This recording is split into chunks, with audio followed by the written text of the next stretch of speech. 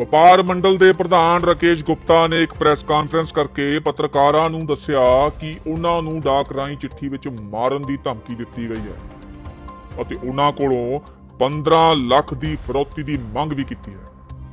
ਰਾਕੇਸ਼ ਗੁਪਤਾ ਨੇ ਧਮਕੀ ਭਰੀ ਚਿੱਠੀ ਨੂੰ ਦਿਖਾਉਂਦਿਆਂ ਉਹਨਾਂ ਕਿਹਾ ਕਿ ਇਹ ਚਿੱਠੀ ਡਾਕ ਰਾਹੀਂ ਉਹਨਾਂ ਦੇ ਘਰ ਪੁੱਜੀ ਹੈ ਅਤੇ ਉਹਨਾਂ ਨੇ ਪਟਿਆਲਾ ਪੁਲਿਸ ਨੂੰ ਲਿਖਤੀ ਸ਼ਿਕਾਇਤ ਦਿੰਦੇ ਹੋਏ ਜਲਦੀ ਤੋਂ ਜਲਦੀ ਇਹਨਾਂ ਦੋਸ਼ੀਆਂ ਨੂੰ ਗ੍ਰਿਫਤਾਰ ਕਰਨ ਦੀ ਮੰਗ ਕੀਤੀ ਹੈ। ਪੱਤਰਕਾਰਾਂ ਦੇ ਸਵਾਲਾਂ ਦੇ ਜਵਾਬ ਵਿੱਚ ਉਹਨਾਂ ਕਿਹਾ ਕਿ ਉਹ ਲੰਮੇ ਸਮੇਂ ਤੋਂ ਵਪਾਰ ਮੰਡਲ ਦੀਆਂ ਦੁੱਖ ਤਕਲੀਫਾਂ ਲਈ ਉਹਨਾਂ ਦਾ ਸਾਥ ਦਿੰਦੇ ਆ ਰਹੇ ਹਨ ਅਤੇ ਨਾਲ ਹੀ ਉਹਨਾਂ ਨੇ ਕੁਝ ਪਟਿਆਲਾ ਵਿੱਚ ਹੋ ਰਹੀਆਂ ਨਜਾਇਜ਼ ਉਸਾਰੀਆਂ ਦੀਆਂ ਤਸਵੀਰਾਂ ਦਿਖਾਉਂਦਿਆਂ ਕਿਹਾ ਕਿ ਉਹ ਇਹਨਾਂ ਨਜਾਇਜ਼ ਉਸਾਰੀਆਂ ਖਿਲਾਫ ਆਪਣੀ ਆਵਾਜ਼ ਬੁਲੰਦ ਕਰ ਰਹੇ ਹਨ। ਨਜਾਇਜ਼ ਉਸਾਰੀਆਂ ਸੰਬੰਧੀ ਰਾਕੇਸ਼ ਗੁਪਤਾ ਨੇ ਦੱਸਿਆ ਕਿ ਇਹਨਾਂ ਉਸਾਰੀਆਂ ਦੀਆਂ ਸ਼ਿਕਾਇਤਾਂ ਉਹਨਾਂ ਵੱਲੋਂ ਨਗਰ ਨਿਗਮ ਪਟਿਆਲਾ ਅਤੇ ਨਗਰ ਸੁਧਾਰ ਟਰਸਟ ਪਟਿਆਲਾ ਨੂੰ ਦਿੱਤੀਆਂ ਹੋਈਆਂ ਹਨ, ਪਰ ਅਜੇ ਤੱਕ ਕੋਈ ਵੀ ਕਾਰਵਾਈ ਅਮਲ ਵਿੱਚ ਨਹੀਂ ਲਿਆਂਦੀ ਗਈ। ਉਹਨਾਂ ਦੋਸ਼ ਲਗਾਇਆ ਕਿ ਪਟਿਆਲਾ ਵਿੱਚ ਭੂ ਮਾਫੀਆ, ਪ੍ਰਸ਼ਾਸਨਿਕ ਅਤੇ ਕੁਝ ਰਾਜਨੀਤਿਕ ਲੀਡਰਾਂ ਨਾਲ ਮਿਲ ਕੇ ਇਹ ਨਜਾਇਜ਼ ਉਸਾਰੀਆਂ ਦਾ ਧੰਦਾ ਚਲਾ ਰਹੇ ਹਨ ਅਤੇ ਉਹਨਾਂ ਸ਼ੰਕਾ ਵੀ ਜ਼ਾਹਰ ਕੀਤੀ ਕਿ ਹੋ ਸਕਦਾ ਹੈ ਕਿ ਇਹ ਧਮਕੀ ਭਰੀ ਚਿੱਠੀ ਕਿਤੇ ਨਿੱਜੀ ਕਿੜ ਕੱਢਣ ਲਈ ਉਹਨਾਂ ਨੂੰ ਭੇਜੀ ਗਈ ਹੋਵੇ। ਰਕੇਸ਼ ਗੁਪਤਾ ਨੇ ਉਹਨਾਂ ਕਿਹਾ ਕਿ ਉਹ ਇਹ ਮਾਮਲੇ ਨੂੰ ਮੁੱਖ ਮੰਤਰੀ ਅਮਰਿੰਦਰ ਸਿੰਘ ਅਤੇ ਪਟਿਆਲਾ ਲੋਕ ਸਭਾ ਮੈਂਬਰ ਪ੍ਰਨੀਤ ਕੌਰ ਦੇ ਧਿਆਨ ਹਿੱਤ ਵਿੱਚ ਲਿਆਉਣਗੇ। ਆਖਰ ਵਿੱਚ ਉਹਨਾਂ ਕਿਹਾ ਕਿ ਮੈਂ ਮੀਡੀਆ ਸਾਹਮਣੇ ਗੱਲ ਇਸ ਕਰਕੇ ਰੱਖੀ ਹੈ ਕਿ ਇਸ ਧਮਕੀ ਭਰੇ ਪੱਤਰ ਦੀ ਉੱਚ ਪੱਧਰੀ ਜਾਂਚ ਕਰਕੇ ਦੋਸ਼ੀਆਂ ਵਿਰੁੱਧ ਜਲਦ ਕਾਰਵਾਈ ਕੀਤੀ ਜਾਵੇ। ਪਟਿਆਲਾ ਤੋਂ ਬਿਊਰੋ ਰਿਪੋਰਟ।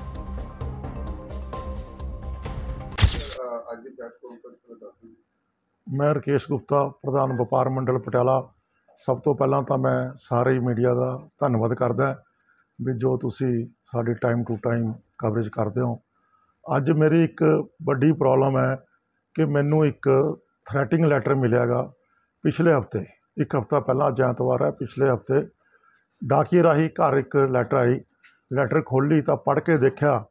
ਉਹਦੇ ਵਿੱਚ ਥ੍ਰੈਟਿੰਗ ਸੀਗੀ ਮੈਨੂੰ ਵੀ ਸਾਨੂੰ 10 ਲੱਖ ਰੁਪਇਆ ਕੋਈ ਬੰਦਾ ਤੁਹਾਨੂੰ ਮਾਰਨ ਦਾ ਦੇ ਰਿਹਾ ਜੇ ਤੁਸੀਂ 15 ਲੱਖ ਰੁਪਇਆ ਸਾਨੂੰ ਦੇ ਦੋਗੇ ਤਾਂ ਬਚ ਜਾਓਗੇ।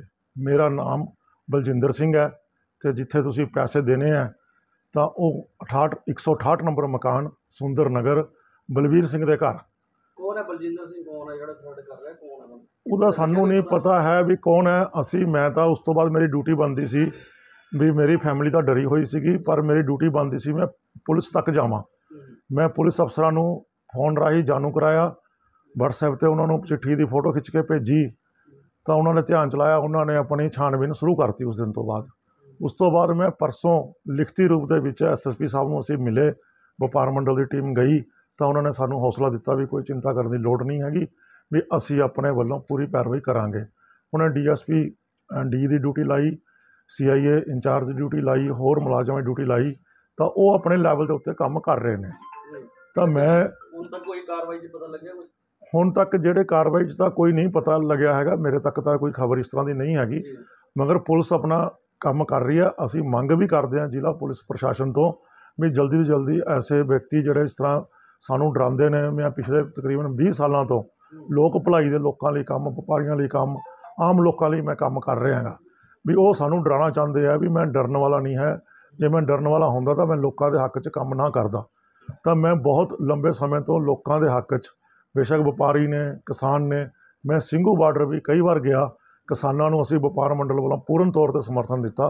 ਹੋ ਸਕਦਾ ਕਿਸੇ ਨੂੰ ਮੇਰੇ ਕੰਮ ਤੋਂ ਕੋਈ ਪ੍ਰੋਬਲਮ ਹੋਵੇ।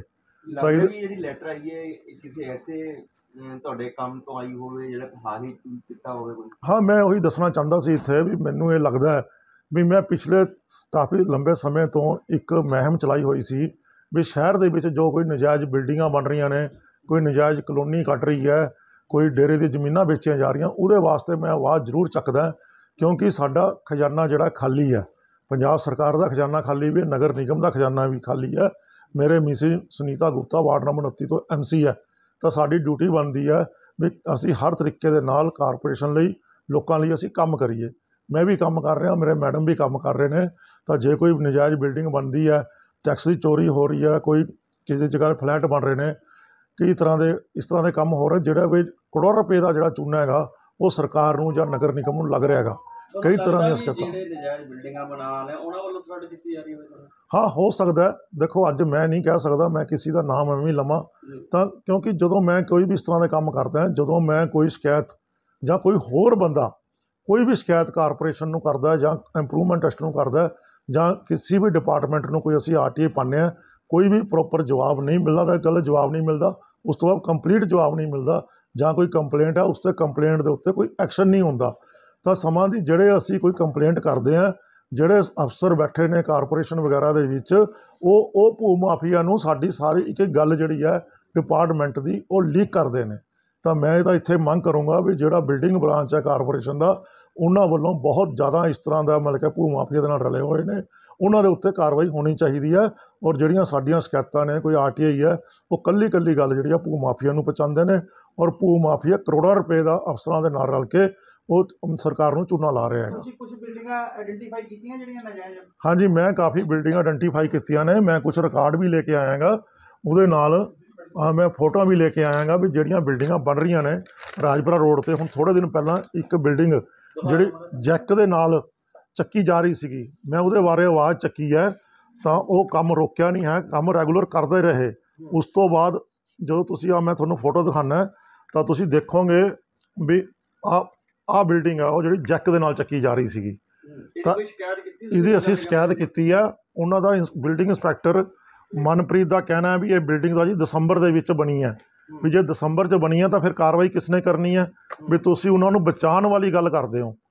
ਤਾਂ ਵੀ ਇਹ ਕਿਉਂ ਮਨ ਕਰ ਰਿਹਾ ਇਹ ਜਿਹੜੀਆਂ ਹੈਗੇ ਕੋਹਿਨੂਰ ਨਾਲ ਬਿਲਕੁਲ ਮਿਲੀ ਭੁਗਤ ਨਾਲ ਹੋ ਰਿਹਾ ਜੀ, ਮੈਂ ਸਾਫ਼ ਕਹੂੰਗਾ, ਮਿਲੀ ਭੁਗਤ ਦੇ ਨਾਲ ਹੋ ਰਿਹਾ। ਜਿਹੜੇ ਇਹ ਹਰਾ ਸ਼ਟਰ ਦਿਖ ਰਿਹਾ ਹੈਗਾ ਇਸ ਨੂੰ ਅੱਜ ਮੈਂ ਫੋਟੋਆਂ ਦੁਬਾਰਾ ਖਿੱਚੀਆਂ ਕੱਲ ਤਾਂ ਇਸ ਦੇ ਉੱਤੇ ਕਰੀਮ ਕਲਰ ਦਾ ਪੇਂਟ ਹੋ ਗਿਆ। ਤੁਸੀਂ ਇਹਦਾ ਨਕਸ਼ਾ ਵੀ ਦੇਖੋ ਵੀ ਚੇਂਜ ਹੋ ਗਿਆ। ਇਹ ਫੋਟੋ ਹੈ। ਇੱਕ ਫੋਟੋ ਇਹ ਹੈ, ਇੱਕ ਫੋਟੋ ਇਹ ਹੈ। ਦੇਖੋ, ਇਹ ਜਦੋਂ ਮੈਂ ਸ਼ਿਕਾਇਤ ਕਰਦਾ ਤਾਂ ਇਸ ਤਰ੍ਹਾਂ ਦੀ ਫੋਟੋ ਹੈ, ਗ੍ਰੀਨ ਕਲਰ ਦੀ। ਤਾਂ ਇਹ ਫੋਟੋ ਇਹ ਹੋ ਗਈ 4 ਦਿਨ ਬਾਅਦ। ਵੀ ਇਹ ਸਾਫ਼ ਪਤਾ ਲੱਗ ਰਿਹਾ ਵੀ ਕੰਮ ਚੱਲ ਰਿਹਾ, ਉਰੇ ਸ਼ਟਰਿੰਗ ਹੋਈ ਵੀ ਹੈ ਤੇ ਇੱਥੇ ਕਲਰ ਵੀ ਚੇਂਜ ਹੋ ਗਿਆ ਤੇ ਨਕਸ਼ਾ ਵੀ ਚੇਂਜ ਹੋ ਗਿਆ। ਇਹ ਇਸ ਤਰ੍ਹਾਂ ਮਤਲਬ ਕਿ ਇਹਨਾਂ ਲੋਕਾਂ ਨੂੰ ਬਚਾਇਆ ਜਾ ਰਿਹਾ। ਇਹ ਇੱਕ ਕੋਈ ਬੰਦਾ ਕਲੋਨੀ ਟਾਈਪ ਪਲਾਟ ਕੱਟ ਕੇ ਵੇਚ ਰਿਹਾ ਜਗਜੀਤ ਸਿੰਘ ਦਾ ਨਾਮ ਹੈ ਇਹਦੇ ਕਈ ਫੈਮਿਲੀ ਮੈਂਬਰ ਨੇ ਉਹਨਾਂ ਦੇ ਨਾਮ ਤੇ ਪ੍ਰਾਪਰਟੀ ਆ। ਇਹ ਸ਼ਹੀਦ ਬਾਬਾ ਦੀਪ ਸਿੰਘ ਨਗਰ ਦੇ ਵਿੱਚ ਅੰਗੀਠਾ ਸਾਹਿਬ ਗੁਰਦੁਆਰੇ ਦੇ ਕੋਲ ਹੈ। ਇੱਥੇ ਐਮਸੀ ਕੌਣ ਹੈ ਜੀ? ਇੱਥੇ ਐਮਸੀ ਮਿਸੀ ਸੁਨੀਤਾ ਗੁਪਤਾ ਨੇ ਵਾਰਡ ਨੰਬਰ 29 ਦੇ ਵਿੱਚ ਪੈਂਦੀ ਹੈ ਇਹ। ਨਗਰ ਨਿਗਮ ਨੂੰ ਕੋਈ ਨਗਰ ਨਿਗਮ ਨੂੰ ਬਹੁਤ ਸ਼ਿਕਾਇਤਾਂ ਕੀਤੀਆਂ ਨੇ। ਇਹ ਸਾਰੇ ਅਫਸਰ ਬੇਸ਼ੱਕ ਐਸਟੀਪੀ ਦੀ ਗੱਲ ਕਰੀਏ ਏਟੀਪੀ ਦੀ ਗੱਲ ਕਰੀਏ ਇੰਸਪੈਕਟਰ ਦੀ ਗੱਲ ਕਰੀਏ ਸਾਰੇ ਇਹਨਾਂ ਦੇ ਨਾਲ ਰਲੇ ਹੋਏ ਨੇ। ਜਦੋਂ ਕੰਪਲੇਂਟ ਕਰਦੇ ਕਰਦੇ ਕੋਈ ਗੱਲ ਨਹੀਂ ਜੀ ਅਸੀਂ ਕਰਦੇ ਆ। ਮੈਂ ਪਟਵਾਰੀ ਤੋਂ ਫਰਦਾਂ ਵੀ ਕਢਵਾ ਕੇ ਰੈਵਨਿਊ ਰਿਕਾਰਡ ਤੋਂ ਇਹਨਾਂ ਨੂੰ ਦਿੱਤੀਆਂ ਨੇ ਵੀ ਆ ਰਿਕਾਰਡ ਦੇ ਵਿੱਚ ਪੂਰਾ ਆਇਆ ਵੀ ਇੰਨੀ ਡੇਟ ਨੂੰ ਇੰਨਾ ਪਲਾਟ ਵਿਕਿਆ ਇੰਨਾ ਰਕਵਾ ਮਾਈਨਸ ਹੋ ਗਿਆ ਇੰਨਾ ਰਕਵਾ ਮਾਈਨਸ ਹੋ ਗਿਆ। ਤਾਂ ਮੈਂ ਫਰਦਾਂ ਦੀ ਕਾਪੀ ਵੀ ਨਾਲ ਮੈਂ ਲੈ ਕੇ ਆਇਆਗਾ। ਇਸ ਤਰ੍ਹਾਂ 14 1500 ਗਜ ਜਗ੍ਹਾ ਹੋਰ ਹੈ। ਉਹ ਪਲਾਟ ਕੱਟ ਕੇ ਉਹਨਾਂ ਨੇ ਉੱਥੇ ਵੇਚੇ ਨੇ। ਆ ਦੋ ਦੁਕਾਨਾਂ ਬਣ ਰਹੀਆਂ ਨੇ 버ਗਰ ਕਿੰਗ ਦੇ ਪਿੱਛੇ। ਤਾਂ ਇਹ ਡਬਲ ਸਟੋਰੀ ਆ ਉੱਥੇ ਦੁਕਾਨ ਬਣ ਹੀ ਨਹੀਂ ਸਕਦੀ ਕਮਰਸ਼ੀਅਲ ਏਰੀਆ ਨਹੀਂ ਹੈ ਨਾ ਕੋਈ ਨਕਸ਼ਾ ਨਾ ਕੁਝ ਜੇ ਇਹਨਾਂ ਨੂੰ ਕੋਈ ਵੀ ਥ੍ਰੈਡ ਆ ਰਹੀ ਹੈ ਸਰ ਤੁਹਾਨੂੰ ਕੀ ਲੱਗਦਾ ਇਸੀ ਕਰਕੇ ਆ ਰਹੀ ਹੈ ਤੁਹਾਨੂੰ? ਬਿਲਕੁਲ ਹੋ ਸਕਦਾ ਜੀ। ਦੇਖੋ ਮੈਂ ਅੱਜ ਕਲੀਅਰ ਤਾਂ ਨਹੀਂ ਕਹਿ ਸਕਦਾ ਜਦੋਂ ਆਪਾਂ ਪਬਲਿਕ ਦੇ ਹੱਕ 'ਚ ਕੰਮ ਕਰਾਂਗੇ ਇਹ ਸੰਦੀਪ ਪੁਰੀ ਦੀ ਬਿਲਡਿੰਗ ਆ ਮੇਨ ਰੋਡ ਦੇ ਉੱਪਰ 버ਗਰ ਕਿੰਗ ਦੇ ਕੋਲ ਬਣ ਰਹੀ ਹੈ ਵੀ ਇਹਦਾ ਨਕਸ਼ਾ ਦੇਖੋ ਤੁਸੀਂ ਕਿੰਨੀ ਵਾਇਲੇਸ਼ਨ ਹੈ। ਹਾਂਜੀ ਇਸ ਤਰ੍ਹਾਂ ਹੀ ਸਿਟੀ ਹੋਮ ਦੇ ਫਲੈਟ ਬਣੇ ਨੇ। ਇਹ ਫਲੈਟਾਂ ਦਾ ਨਕਸ਼ਾ ਹੈਗਾ ਵੀ ਉੱਥੇ ਫਲੈਟ ਜਿਹੜੇ ਬਣੇ ਕੱਲੇ ਕੱਲੇ ਮਕਾਨ ਦਾ ਨਕਸ਼ਾ ਪਾਸ ਕਰਾਇਆ ਗਿਆ। ਉਸ ਤੋਂ ਬਾਅਦ ਫਲੈਟ ਬਣ ਕੇ ਫਲੋਰ ਵਾਈਜ਼ ਵੇਚੇ ਜਾ ਰਹੇ ਜਦ ਕਿ ਵੇਚੇ ਨਹੀਂ ਜਾ ਸਕਦੇ ਫਲੋਰ ਵਾਈਜ਼ ਔਰ ਨੀਚੇ ਪਾਰਕਿੰਗ ਬਣਨੀ ਚਾਹੀਦੀ ਕੋਈ ਪਾਰਕਿੰਗ ਨਹੀਂ ਹੈ। ਇਹ ਵੱਡੇ ਬੰਦੇ ਨੇ ਇਹਨਾਂ ਦੇ ਨਾਲ ਕਾਰਪੋਰੇਸ਼ਨ ਦੇ ਅਫਸਰ ਸਾਰੇ ਰਲੇ ਹੋਏ ਨੇ। ਇਸ ਤਰ੍ਹਾਂ-? ਇਹ ਜਿਹੜੇ ਫਲੈਟ ਹੈ ਫਲੈਟ ਹੈਗੇ ਸਿਟੀ ਹੋਮ ਦੇ ਨਾਮ ਤੇ ਹੈ ਜੀ। ਹਾਂਜੀ ਇਸ ਤਰ੍ਹਾਂ ਚੋਰੇ ਵਾਲੇ ਮੋੜ ਦੇ ਉੱਤੇ ਇੱਕ ਆ ਦੇਖੋ ਵੱਡਾ ਮਾਲ ਬਣਿਆ 3-4 ਕਰੋੜ ਰੁਪਏ ਦਾ ਘਪਲਾ ਇਹਦੇ ਵਿੱਚ। ਟੈਕਸ ਦਾ ਘਪਲਾ ਹੈਗਾ ਜੇ ਪਟਿਆਲੇ ਤੋਂ ਚੰਡੀਗੜ੍ਹ ਜਾਂਦੇ ਆ ਚੋਰੇ ਮੋੜ ਦੇ ਸੱਜੇ ਪਾਸੇ। ਵੀ ਇਹ ਕਿਸ ਤਰੀਕੇ ਦਾ ਨਕਸ਼ਾ ਪਾਸ ਕਰਾਉਂਦੇ ਆ ਕੌਣ ਇਹਨਾਂ ਨੂੰ ਸ਼ਹਿ ਦਿੰਦਾ ਕਿਆ ਹੋ ਰਿਹਾ ਕਿਆ ਨਹੀਂ ਹੋ ਰਿਹਾ ਪੂਰਾ ਬਿਲਡਿੰਗ ਬ੍ਰਾਂਚ ਜਿਹੜਾ ਕਾਰਪੋਰੇਸ਼ਨ ਦਾ ਇਹਨਾਂ ਦੇ ਨਾਲ ਰਲਿਆ ਹੋਇਆ ਹੈਗਾ ਪੂਰਾ। ਨਗਰ ਨਿਗਮ ਦੇ ਵਿਜੀਲੈਂਸ ਬ੍ਰਾਂਚ ਹੈ ਜਿਹਨੂੰ ਮਰਜ਼ੀ ਸ਼ਿਕਾਇਤ ਕਰੀ ਜਾਓ ਸਾਰੇ ਇਕੱਠੇ ਨੇ ਜੀ ਮੈਂ ਉਹਨਾਂ ਨੂੰ ਨਹੀਂ ਕੀਤੀ ਮੈਂ ਤਾਂ ਜਿਹੜੀ ਦੇਖੋ ਕੋਈ ਸ਼ਿਕਾਇਤ ਮੈਂ ਕਰਾਂਗਾ ਜਾਂ ਕੋਈ ਵੀ ਆਂਢੀ ਗੁਆਂਢੀ ਕਰਦਾ ਉਹ ਐਮਸੀ ਕੋਲ ਪਹੁੰਚਦਾ ਜਾਂ ਮੇਰੇ ਕੋਲ ਪਹੁੰਚਦਾ ਜਾਂ ਮੈਨੂੰ ਪਤਾ ਲੱਗਦਾ ਵੀ ਅਸੀਂ ਸ਼ਿਕਾਇਤ ਕੀਤੀ ਜੀ ਕੋਈ ਕਾਰਵਾਈ ਨਹੀਂ ਹੋਈ। ਕਿਸੇ ਡਿਪਾਰਟਮੈਂਟ 'ਚ ਕੋਈ ਆਰਟੀਆਈ ਹਾਂ ਕੋਈ ਜਵਾਬ ਨਹੀਂ ਆਉਂਦਾ ਜੇ ਜਵਾਬ ਆਉਂਦਾ ਵੀ ਉਹ ਪ੍ਰੋਪਰ ਨਹੀਂ ਆਉਂਦਾ। ਇਸ ਤਰ੍ਹਾਂ ਇੱਕ ਵੱਡਾ ਮੁੱਦਾ ਇੰਪਰੂਵਮੈਂਟ ਟਰਸਟ ਦਾ ਹੈਗਾ। ਪਿਛਲੇ ਲੰਬੇ ਸਮੇਂ ਤੋਂ ਇੰਪਰੂਵਮੈਂਟ ਟਰਸਟ ਦੇ ਕਾਫੀ ਪਲਾਟ ਜਾਂ ਪ੍ਰਾਪਰਟੀ ਐਸੀ ਸੀ ਜਿਨ੍ਹਾਂ ਦਾ ਕੋਰਟ ਦੇ ਵਿੱਚ ਕੇਸ ਚੱਲਦਾ ਸੀ। ਉਹ ਸਾਰੇ ਕੇਸ ਜਿਹੜੇ ਨੇ ਇੰਪਰੂਵਮੈਂਟ ਟਰਸਟ ਦੀ ਫੇਵਰ ਦੇ ਵਿੱਚ ਹੋ ਗਏ। ਵੀ ਇੰਪਰੂਵਮੈਂਟ ਟਰਸਟ ਨੇ ਕਬਜ਼ਾ ਲੈਣ ਦੀ ਬਜਾਏ, ਕਬਜ਼ਾ ਇੰਪਰੂਵਮੈਂਟ ਟਰਸਟ ਹੋਣ ਦੀ ਬਜਾਏ ਪ੍ਰਾਈਵੇਟ ਬੰਦਿਆਂ ਦੇ ਕੋਲ ਹੈ। ਉਹ ਇੰਪਰੂਵਮੈਂਟ ਟੈਸਟ ਦੀ ਅਫਸਰ ਸਾਹਿਬ ਉਹਨਾਂ ਨਾਲ ਮਿਲੀ ਹੋਈ ਹੈ, ਉਹਨਾਂ ਨੂੰ ਕਬਜ਼ਾ ਕਰਾਇਆ ਹੋਇਆ, ਕਿਤੇ ਉਹ ਪਲਾਟ ਜਿਹੜਾ ਕੇਸ ਲੜਿਆ, ਉਹ ਇੰਪਰੂਵਮੈਂਟ ਟੈਸਟ ਨੇ ਲੜਿਆ। ਪੈਸੇ ਖਰਚੇ ਵਕੀਲ ਕੀਤਾ ਉਹ ਇੰਪਰੂਵਮੈਂਟ ਟੈਸਟ ਨੇ ਖਰਚਾ ਕੀਤਾ। ਜਦੋਂ ਉਹਨਾਂ ਦੇ ਫੇਵਰ 'ਚ ਪਲਾਟ ਹੋ ਜਾਂਦੇ ਨੇ ਪ੍ਰਾਪਰਟੀ ਹੋ ਜਾਂਦੀ ਹੈ ਉਹ ਪ੍ਰਾਈਵੇਟ ਇਹ ਇਹ ਫਾਇਦਾ ਪਹੁੰਚ ਰਿਹਾ ਜਿਨ੍ਹਾਂ ਨੇ ਕਬਜ਼ਾ ਕਰ ਲਿਆ ਅਫਸਰ ਸਾਈ ਦੇ ਨਾਲ ਮਿਲੇ ਹੋਏ ਆ ਉਹਨਾਂ ਦੀ ਡਿਊਟੀ ਬਣਦੀ ਹੈ। ਉਹਨਾਂ ਨੂੰ ਜੇ ਆਰਟੀਆਈ ਪਾਉਂਦੇ ਆ ਕੋਈ ਕੰਪਲੇਂਟ ਪਾਉਂਦੇ ਉਹਨਾਂ ਨੂੰ ਚਾਹੀਦਾ ਵੀ ਇਸ ਦੇ ਉੱਤੇ ਕਾਰਵਾਈ ਕਰਕੇ ਉਹਦੇ ਕਬਜ਼ਾ ਕਰ ਆਪਣਾ ਚੇਅਰਮੈਨ ਸਾਹਿਬ ਨੂੰ ਦੇਖੋ ਮੈਂ ਜਿਹੜੀ ਗੱਲ ਕਰੂੰਗਾ ਜਿਹੜੀ ਮੇਰੇ ਕੋਲ ਰਿਕਾਰਡ ਹੈ ਮੈਂ ਉਹਦੀ ਗੱਲ ਕਰੂੰਗਾ। ਮੂੰਹ ਜਵਾਨੀ ਦਾ ਕੋਈ ਫਾਇਦਾ ਨਹੀਂ ਕਿਸੇ ਦੀ ਵੀ ਗੱਲ ਕਰਾਂਗੇ ਉਹਨਾਂ ਨੇ ਕਹਿਣਾ ਮੈਨੂੰ ਤਾਂ ਮਿਲੇ ਨਹੀਂ ਆ ਕੇ। ਤਾਂ ਦੇਖੋ ਹੁਣ ਤੁਸੀਂ ਜਾਣਦੇ ਜ਼ਿੰਮੇਵਾਰੀ ਤਾਂ ਉਹਨਾਂ ਦੀ ਬਣਦੀ ਆ। ਸਾਰੀ ਡਿਪਾਰਟਮੈਂਟ ਦੀ ਬਣਦੀ ਆ, ਉਹ ਅਫਸਰ ਰਲੇ ਹੋਏ ਨੇ। ਲੱਖਾਂ ਕਰੋੜਾਂ ਰੁਪਏ ਦਾ ਘਪਲਾ ਹੈਗਾ। ਵੀ ਜੇ ਇਹਦੇ ਪੂਰੇ ਲਿਖਤੀ ਬਹੁਤ ਸ਼ਿਕਾਇਤਾਂ। ਆਰਟੀਆਈ ਪਾਈ, ਕੰਪਲੇਂਟਾਂ ਕੀਤੀਆਂ ਨੇ, ਨਗਰ ਨਿਗਮ ਨੂੰ ਵੀ ਕੀਤੀ ਇੰਪਰੂਵਮੈਂਟ ਟੈਸਟ ਨੂੰ ਵੀ ਕੀਤੀ। ਦੋਨਾਂ 'ਚ ਦੋਨਾਂ 'ਚ ਸਰਕ ਪਾਈ ਆ। ਔਰ ਕਈ ਕਈ ਸਾਲ ਕੇਸ ਜਿਹੜਾ ਇੰਪਰੂਵਮੈਂਟ ਟੈਸਟ ਨੇ ਲ- ਰਲਿਆ ਲੜਿਆਗਾ ਉਹਦੀ ਇੰਪਰੂਵਮੈਂਟ ਟੈਸਟ ਨੇ ਪੈਸੇ ਖਰਚ ਕੀਤੇ, ਅਫਸਰ ਪੇਸ਼ਾਂ ਤੇ ਜਾਂਦੇ ਰਹੇ, ਅਫਸਰਾਂ ਨੂੰ ਕੱਲੇ ਕੱਲੇ ਪਲਾਟ ਪਤਾ ਨੇ ਕੱਲੀ ਕੱਲੀ ਪ੍ਰਾਪਰਟੀ ਪਤਾ, ਪਰ ਉਹ ਪ੍ਰਾਪਰਟੀ ਅੱਜ ਪ੍ਰਾਈਵੇਟ ਬੰਦਿਆਂ ਕੋਲ ਆ, ਉੱਥੇ ਬਿਜਲੀ ਦੇ ਮੀਟਰ ਵੀ ਲੱਗੇ ਹੋਏ ਨੇ, ਪਾਣੀ ਦੇ ਕਨੈਕਸ਼ਨ ਵੀ ਹੈਗੇ ਤੇ ਉਹ ਉੱਥੇ ਬੰਦੇ ਵੀ ਰਹਿ ਰਹੇ ਵੀ ਉਹ ਕਿਆ ਹੋ ਰਿਹਾ ਹੈ ਵੀ ਇਹ ਪੂਰਾ ਇਸ ਤਰ੍ਹਾਂ ਦਾ ਬਹੁਤ ਵੱਡਾ ਜਿਹੜਾ ਆ ਘਪਲਾ ਹੈਗਾ ਵੀ ਜਿਹੜਾ ਅਸੀਂ ਤੁਹਾਡੇ ਤੋਂ ਮਦਦ ਮੰਗਦੇ ਆ ਇਹਨਾਂ ਨੂੰ ਤੁਸੀਂ ਉਜਾਗਰ ਕੀਤਾ ਜਾਵੇ ਔਰ ਇਹਨਾਂ ਦੇ ਉੱਤੇ ਕਾਰਵਾਈ ਕੀਤੀ ਜਾਵੇ। ਮੈਂ ਥ੍ਰੈਟ ਨੂੰ ਲੈ ਕੇ ਮੈਨੂੰ ਕੋਈ ਇਸ ਤਰ੍ਹਾਂ ਦਾ ਫੋਨ ਨਹੀਂ ਆਇਆ ਹੈਗਾ। ਦੇਖੋ ਮੈਂ ਤਾਂ ਹਰ ਵਰਗ ਬੇਸ਼ੱਕ ਵਪਾਰੀ ਨੇ ਬੇਸ਼ੱਕ ਕਿਸਾਨ ਹੈ ਮਜ਼ਦੂਰ ਹੈ ਕੋਈ ਗਰੀਬ ਲੋਕ ਨੇ ਮੈਂ ਹਰ ਵਰਗ ਦੇ ਨਾਲ ਸੱਚਾਈ ਦੇ ਤੌਰ ਤੇ ਮੈਂ ਖੜ ਦਿਆਂਗਾ ਪਿਛਲੇ ਤਕਰੀਬਨ 20 ਸਾਲਾਂ ਤੋਂ ਤੋਂ ਮੈਂ ਕੰਮ ਕਰ ਰਿਹਾ ਔਰ ਮੈਂ ਹੁਣ ਵੀ ਕਈ ਵਾਰ ਸਿੰਘੂ ਬਾਰਡਰ ਮੈਂ ਜਾ ਕੇ ਆਇਆਗਾ। ਕਿਸਾਨਾਂ ਦੇ ਨਾਲ ਅਸੀਂ ਵਪਾਰ ਮੰਡਲ ਨੂੰ ਸਮਰਥਨ ਦਿੱਤਾ, ਆਪਣੇ ਵੱਲੋਂ ਸਮਰਥਨ ਦਿੱਤਾ। ਕਰੋਨਾ ਦੇ ਵਿੱਚ ਅਸੀਂ ਵਪਾਰੀਆਂ ਲਈ ਬਹੁਤ ਵੱਡੀ ਆਵਾਜ਼ ਚੱਕੀ। ਔਰ ਧਰਨੇ ਵੀ ਲਾਏ ਔਰ ਇੱਥੇ ਤੱਕ ਵੀ ਨਾ ਐਲਾਨ ਕਰਤਾ ਵੀ ਅਸੀਂ ਤਾਂ ਦੁਕਾਨਾਂ ਖੋਲਾਂਗੇ ਵੀ ਵੀ ਸਰਕਾਰ ਦਾ ਆਰਡਰ ਜੋ ਮਰਜ਼ੀ ਹੋਵੇ। ਔਰ ਜਿੰਨਾ ਬੰਦੇ ਦਾ ਰੁਜ਼ਗਾਰ ਹੋ- ਗਿਆ ਔਰ ਨੌਕਰੀਆਂ ਗਈਆਂ ਨੇ, ਉਹਨਾਂ ਵਾਸਤੇ ਅਸੀਂ ਆਵਾਜ਼ ਚੱਕਦੇ ਨੇ। ਵੀ ਹੋ ਸਕਦਾ ਵੀ ਸਾਡੀਆਂ ਇਹ ਆਵਾਜ਼ਾਂ ਜਿਹੜੀਆਂ ਨੇ, ਕਿਸੇ ਨੂੰ ਬਰਦਾਸ਼ਤ ਨਾ ਹੁੰਦੀਆਂ ਹੋਵੇ। ਇਸ ਤਰ੍ਹਾਂ ਮੈਂ ਤੁਹਾਨੂੰ ਦੱਸਿਆ ਵੀ ਕਲੋਨੀਆਂ ਕੱਟ ਰਹੀਆਂ ਨੇ ਬਹੁਤ ਬਹੁਤ ਜ਼ਿਆਦਾ ਘਪਲਾ ਹੈਗਾ ਵੀ ਜੇ ਮਤਲਬ ਕਿ ਇਹਨਾਂ ਸਾਰਿਆਂ ਦੀ ਛਾਣਬੀਨ ਕੀਤੀ ਜਾਵੇ, ਜਿਹੜੇ ਵੀ ਅਫਸਰ ਨੇ ਉਹਨਾਂ ਨੂੰ ਸਜ਼ਾ ਮਿਲਣੀ ਚਾਹੀਦੀ ਆ ਔਰ ਭਰਪਾਈ ਵੀ ਉਹਨਾਂ ਦੇ ਉੱਤੇ ਕਰਨੀ ਚਾਹੀਦੀ ਆ। ਇੱਕ ਜਿੱਦਾਂ ਮੈਂ ਸਿਟੀ ਸੈਂਟਰ ਦੀ ਗੱਲ ਕੀਤੀ ਆ ਸਿਟੀ ਹੋਮ ਦੀ ਗੱਲ ਕੀਤੀ ਉਹਦੇ ਫਲੈਟ ਬਣ ਰਹੇ ਉਹਦੇ ਨਾਲ ਰੀਵਾ ਨਦੀ ਜਾਂਦੀ ਹੁੰਦੀ ਸੀ, ਕਰਾਓ ਨਦੀ, ਉਹਦਾ ਬਹੁਤ ਰਕਬਾ ਜਿਹੜਾ ਇਹਨਾਂ ਨੇ ਕਬਜ਼ਾ ਕਰ ਲਿਆ। ਵੀ ਇਹ ਵੱਡੇ ਬੰਦੇ ਨੇ, ਵੀ ਇਹਨਾਂ ਨੂੰ ਕੌਣ ਰੋਕੇਗਾ, ਕਿਵੇਂ ਮਤਲਬ ਕਿ ਵੀ ਭਰਪਾਈ ਹੋਏਗੀ, ਜਿਹੜਾ ਆਮ ਬੋਝ, ਜਿਹੜਾ ਜਨਤਾ ਦੇ ਪੈਂਦਾ। ਪਿਛਲੇ ਸਮੇਂ ਤੁਸੀਂ ਦੇਖਿਆ ਹੋਣਾ ਵੀ 5% ਪ੍ਰੋਪਰਟੀ ਟੈਕਸ ਵਧਾਤਾ ਪੰਜਾਬ ਸਰਕਾਰ ਨੇ। ਉਹ ਕਿਉਂ ਵਧਾਇਆ? ਵੀ ਸਾਡਾ ਖਜ਼ਾਨਾ ਖਾਲੀ ਆ। ਵੀ ਜੇ ਇਹਨਾਂ ਲੋਕਾਂ ਨੂੰ ਦੇ ਗੱਲ ਅਸੀਂ ਧਿਆਨ ਨਹੀਂ ਦੇਵਾਂਗੇ, ਤਾਂ ਸਾਡਾ ਖਜ਼ਾਨਾ ਖਾਲੀ ਰਹਿਣਾ ਹੀ ਰਹਿਣਾ ਹੈਗਾ।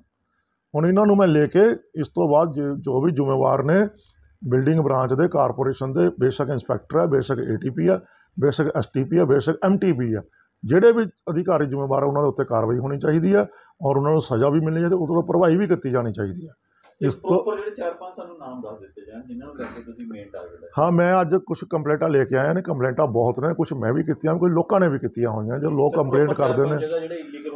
ਹਾਂ ਬਿਲਕੁਲ ਮੈਂ ਤੁਹਾਨੂੰ ਰਿਟਰਨ ਮੈਂ ਇਹਨਾਂ ਦੀ ਕਾਪੀ ਕੇ ਦਊਂਗਾ। ਸਰ ਕੈਮਰੇ ਕੀ ਦੱਸ ਦਿਓ ਹਾਂ ਕੈਮਰੇ ਅੱਗੇ ਵੀ ਦੱਸਦਾ ਤੇ ਮੈਂ ਇਸ ਤੋਂ ਬਾਅਦ ਵਿਜੀਲੈਂਸ ਕੋਲ ਵੀ ਜਾਊਂਗਾ ਡੀਜੀਪੀ ਸਾਹਿਬ ਨੂੰ ਵੀ ਮਿਲੂੰਗਾ ਸੀਐਮ ਸਾਹਿਬ ਨੂੰ ਵੀ ਮਿਲੂੰਗਾ ਉਸ ਤੋਂ ਬਾਅਦ ਮੈਂ ਫਿਰ ਜੇ ਮੈਨੂੰ ਕੋਈ ਨਹੀਂ ਰਿਲੀਫ ਮਿਲਦੀ ਤਾਂ ਮੈਂ ਕੋਰਟ ਵੀ ਜਾਊਂਗਾ।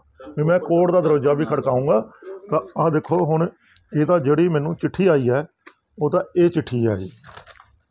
ਇਹ ਥ੍ਰੈਟ ਥ੍ਰੈਟਿੰਗ ਵਾਲੀ ਲੈਟਰ ਜਿਹੜੀ ਆਈ ਹੈ ਉਹ ਵਾਲੀ ਲੈਟਰ ਹੈ ਇਹ, ਵੀ ਇਹ ਮੈਨੂੰ ਚਿੱਠੀ ਆਈ ਹੈ ਇਹ ਮੈਂ ਪੜ੍ਹ ਕੇ ਵੀ ਸੁਣਾ ਦੇਣਾ ਰਕੇਸ਼ ਗੁਪਤਾ, ਤੈਨੂੰ ਮਾਰਨ ਲਈ ਮੈਨੂੰ 10 ਲੱਖ ਦੀ ਆਫਰ ਮਿਲੀ ਹੈ।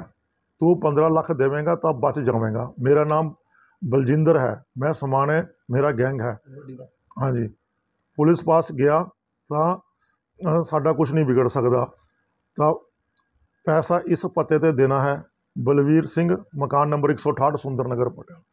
ਕਿ ਅਸੀਂ ਉਹ ਐਡਰੈਸ ਪਤਾ ਕੀਤਾ ਹਾਂਜੀ ਜਿਹੜਾ 168 ਨੰਬਰ ਪਤਾ ਕੀਤਾ ਜੀ 168 ਨੰਬਰ ਦਾ ਕੋਠੀ ਬੰਦ ਹੈ, ਉਹ ਫੈਮਿਲੀ ਦਾ ਬਾਹਰ ਗਈ ਵੀ ਆਊਟ ਆਫ ਇੰਡੀਆ ਤੇ ਜਿਹੜਾ ਦੂਜਾ ਬਲਜਿੰਦਰ ਸਿੰਘ, ਉਹ ਇੱਕ ਉੱਥੇ ਪਤਾ ਕੀਤਾ ਵੀ ਬਲਵੀਰ ਸਿੰਘ ਹੈ, ਉਹਦਾ ਮੁੰਡਾ ਬਲਜਿੰਦਰ ਸਿੰਘ ਹੈ, ਔਰ ਸਮਾਣੇ ਕੋਈ ਕੰਮਕਾਰ ਵੀ, ਉਹਨਾਂ ਦਾ ਕੋਈ ਸਮਾਣੇ ਹੈ। ਉਹ ਪੁਲਿਸ ਆਪਣੇ ਤੌਰ ਤੇ ਛਾਣਬੀਨ ਕਰ ਰਹੀ ਹੈ, ਮੈਂ ਉਹਦੇ ਚ ਇੰਟਰਫੇਰੈਂਸ ਨਹੀਂ ਕਰ ਰਿਹਾ। ਸਾਡੀ ਡਿਊਟੀ ਸਾਡਾ ਫਰਜ਼ ਬਣਦਾ ਵੀ ਅਸੀਂ ਪੁਲਿਸ ਨੂੰ ਕੰਪਲੇਂਟ ਦਈਏ, ਤਾਂ ਉਹਦੇ ਵਿੱਚ ਅਸੀਂ ਇੰਟਰਫੇਰੈਂਸ ਨਾ ਕਰੀਏ। ਹਾਂ, ਦੂਜੀਆਂ ਮੈਂ ਤੁਹਾਨੂੰ ਦੱਸ ਰਿਹਾ ਸੀਗਾ ਜੀ, ਇਹ ਫਰਦਾ ਮੈਂ ਕਢਾਈਆਂ ਨੇ ਜੀ। ਇਹ ਇੱਕ ਫਰਦਾ ਤਾਂ ਹੈਗਾ ਸਿਟੀ ਹੋਮ ਵਾਲੀਆਂ, ਵੀ ਇਹਨਾਂ ਦੀ ਪ੍ਰਾਪਰਟੀ ਕਿੰਨੀ ਆ ਤੇ ਇਹਨਾਂ ਦੇ ਕਬਜ਼ੇ 'ਚ ਕਿੰਨੀ ਹੈ ਦੂਜੀ ਹੈਗੀ ਜਗਜੀਤ ਸਿੰਘ ਵਾਲੀ, ਉਹਦੀ ਵਾਈਫ ਦੇ ਜਾਂ ਮੁੰਡੇ ਜਾਂ ਕੁੜੀ ਦੇ ਫੈਮਿਲੀ ਮੈਂਬਰਾਂ ਦੇ ਨਾਮ ਹੈ।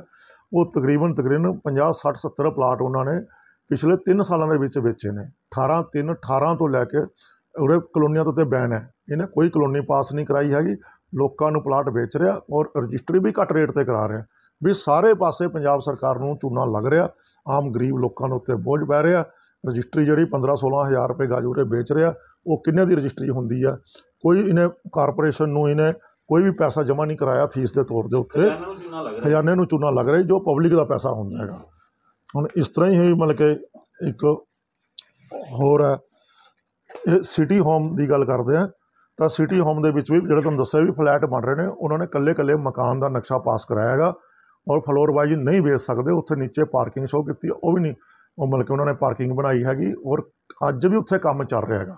ਕਈ ਵਾਰ ਕੰਪਲੇਂਟਾਂ ਕਰਨ ਤੋਂ ਬਾਅਦ ਉਹਨਾਂ ਦੀ ਕੰਸਟਰਕਸ਼ਨ ਕਿਸੇ ਨੇ ਵੀ ਰੋਕਣ ਦੀ ਜ਼ਰੂਰਤ ਨਹੀਂ ਸਮਝੀ। ਬੇਸ਼ੱਕ ਕੋਈ ਵੀ ਵੱਡੇ ਤੋਂ ਵੱਡਾ ਅਧਿਕਾਰੀ ਹੈ ਕਾਰਪੋਰੇਸ਼ਨ ਦਾ ਕਿਸੇ ਨੇ ਆਪਣੀ ਜ਼ਿੰਮੇਵਾਰੀ ਨਹੀਂ ਸਮਝੀ। ਇਸ ਤਰ੍ਹਾਂ ਤੁਹਾਨੂੰ ਮੈਂ ਇੰਪਰੂਵਮੈਂਟ ਟੈਸਟ ਵਾਲਾ ਦੱਸਿਆਗਾ ਵੀ ਜਿਹੜੇ ਕੇਸ ਤਾਂ ਲੜਿਆ ਇੰਪਰੂਵਮੈਂਟ ਟੈਸਟ ਨੇ।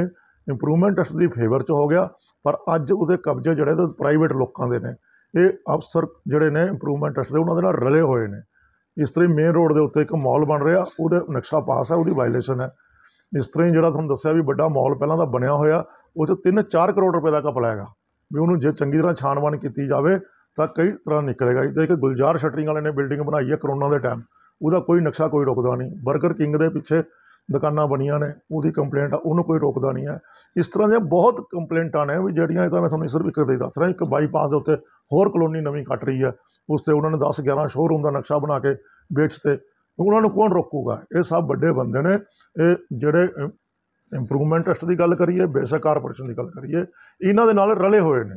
ਵੀ ਮੈਂ ਤਾਂ ਇਹੀ ਮੰਗ ਕਰਦਾ, ਸਭ ਤੋਂ ਪਹਿਲਾਂ ਜਿਹੜੀ ਮੈਨੂੰ ਥ੍ਰੈਟਿੰਗ ਲੈਟਰ ਆਈ ਹੈ, ਪੰਜਾਬ ਪੁਲਿਸ ਤੋਂ, ਜ਼ਿਲ੍ਹਾ ਪ੍ਰਸ਼ਾਸਨ ਤੋਂ ਵੀ ਉਹਨਾਂ ਬੰਦਿਆਂ ਨੂੰ ਛੇਤੀ ਛੇਤੀ ਫੜ ਕੇ ਉਹਨਾਂ ਦੇ ਉੱਤੇ ਕਾਰਵਾਈ ਕੀਤੀ ਜਾਵੇ ਔਰ ਮੈਨੂੰ ਇਨਸਾਫ ਦਿਲਾਇਆ ਜਾਵੇ।